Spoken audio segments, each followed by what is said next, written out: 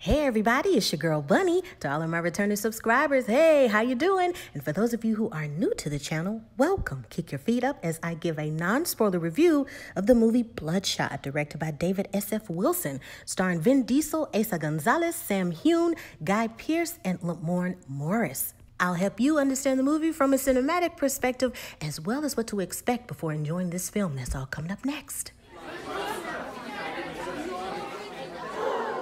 It's Bunny.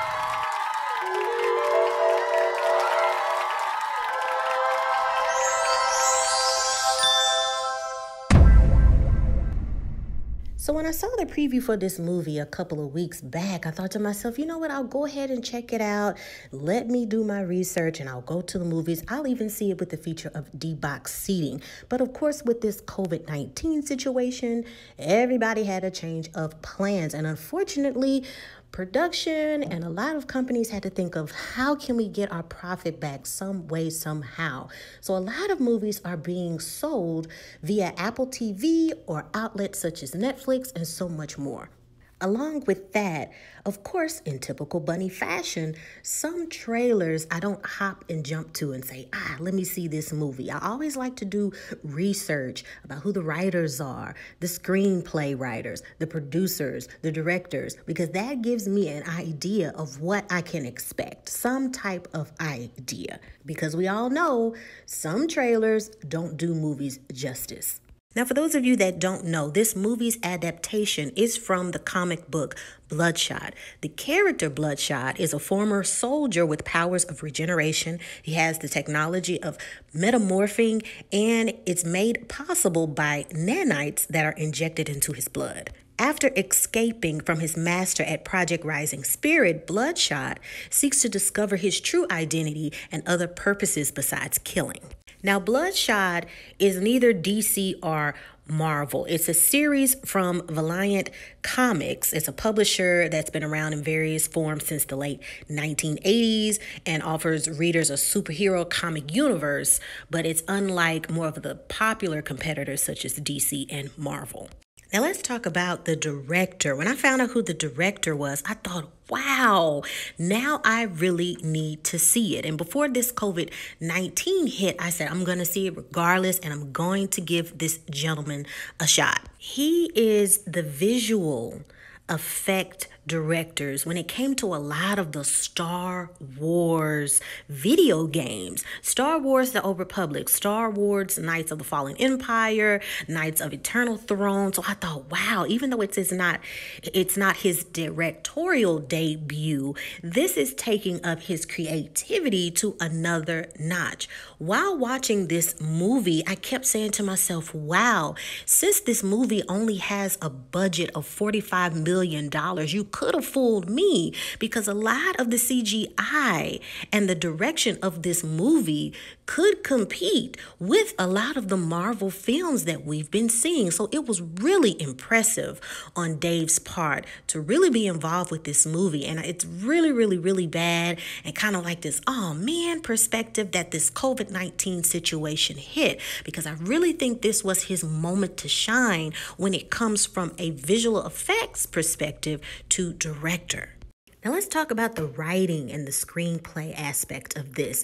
Eric Heisserer is no rookie when it comes to creative, eclectic, thinking outside of the box writing. He wrote Bird Box, which a lot of people may think is a copy and paste of um, the movie A Quiet Place, but you got to think about the time frame of how long it takes writing to get to film. So it's not exactly a copycat, but it's along the same ideas. A lot of people have the same ideas, and it's kind of like their own way in interpreting the story. But A Quiet Place, of course, got first dibs and got to the audience first. But he's with Bird Box and the writing behind the movie Arrival, which a lot of people gave kudos to. So understanding the writing, the screenplay, and the direction will help you understand Bloodshot and giving this movie a chance.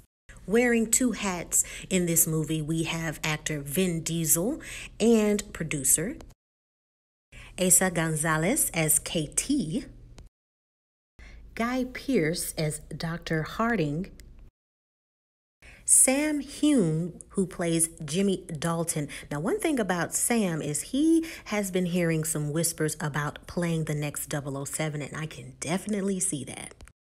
And last but not least, Lamorne Morris. This gentleman plays Wilfred Wigans in this film. Let me take a moment to give huge kudos and a big step with this film. Now, I know I didn't do that with the other actors because they have a nice resume and lots of accolades to go along with their movies and with their skills, okay? But Lamorne here is known for his comedic side bringing to film, his writer generosity when it comes to skits and some things that you may see on television. One thing that really impressed me with Lamorne, you could tell that he really, really stepped it up and spoke with a dialect coach. He brought a new British dialect to this film. You really forget it's him, and he morphs into this character, which was very, very, very good. You start to say to yourself, wow, you can tell that he said to someone and his team, I really want to step it up. Let's try a different look. Let me learn how to hold my body in such a way. Let me learn the different terminologies when it comes to technology, things that I may need to know, because you can tell that sometimes when comedians, actors, anything that's out of their element, they are going to have to take that time to learn. A good example of someone playing a doctor to give me the idea and convincing me that you're a doctor, you really have to be comfortable with the terminologies. You really can't stumble over a lot of a lot of genetic and scientific words because you want the audience to feel as if you've been studying med- medicine for years and you know what you're talking about. So you want a lot of these terminologies to just roll off of your tongue. And that is what we saw in this film standing round of applause to this gentleman. I look forward to more things from this comedian now, which I see stepping it way up as an actor. This is going to open a lot of casting directors' eyes and saying he can really challenge himself and he can really mold into another character. And that is what he did. Great job. Wonderful job, Lamorne. I wish I was seeing you face to face in an interview to tell you what a major step up. Not saying that he hasn't done this in other films. With with this, it was something different. Adding that accent and it being done well, not going in and out of the dialect. Not one time did I hear that he slipped out even once. Wonderful job, amazing step up in the acting world. Kudos to you. I really don't understand, and I'm trying to understand how this movie got such terrible low reviews from critics. I don't get it.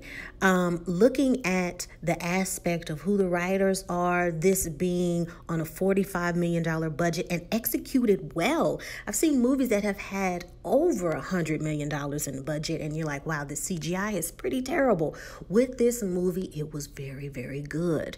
And seeing that the time that's allowed it allowed for this movie was executed well in my perspective. And i give this movie um believe it or not a seven out of a seven point five out of ten, going into an eight. It wasn't terrible.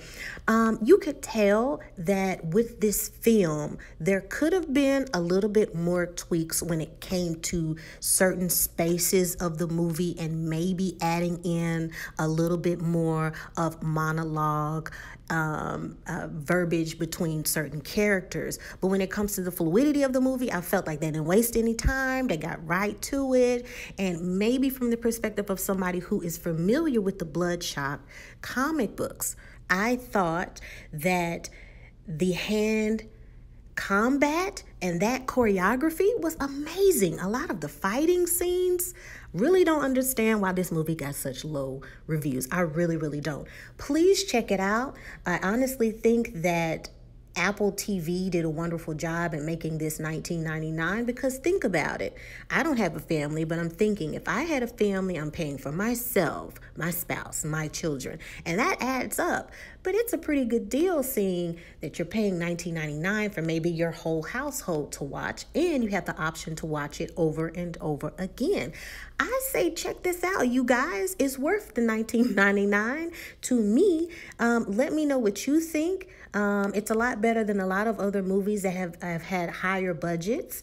And the fact that they have a cast that is admirable and has a good resume behind it, not res- not actors that we've never heard of. We've heard of a lot of these actors and actresses, and I thought they did an amazing job. Check it out. Let me know what you think, and let me know your non-spoiler comments below.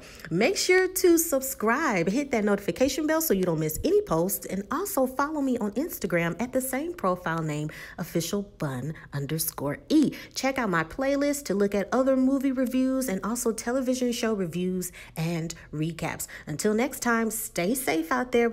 Remember to wash your hands, stay calm, stay aware of your surroundings and what you're doing. And I'm pretty sure we can get through this COVID 19 matter soon. Until next time, love you. Bye.